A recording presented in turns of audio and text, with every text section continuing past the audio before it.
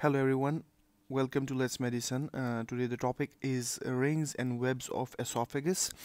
Uh, so there are two uh, uh diseases that causes uh, these rings and webs. Uh, first one is Schatzki ring and, and the second one is Plummer-Vinson syndrome. both give dysphagia. So the Schatzki ring is often from the acid reflux and is, is also associated with hiatal hernia. Uh, it is a type of scarring or tightening also called a peptic stricture and it is in the distal esophagus. It is in the distal esophagus while the Plummer-Vinson is associated with the iron deficiency anemia and can rarely transform into squamous cell cancer as well. The Plummer-Vinson syndrome is more proximal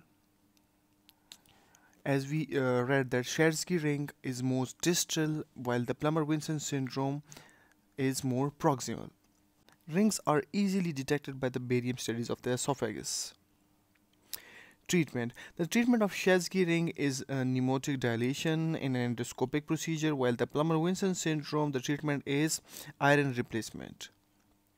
Diagnosis The diagnosis of both of the conditions is done by the barium studies. That was the concise video about the rings and webs. Thank you for watching. Meet you in another video.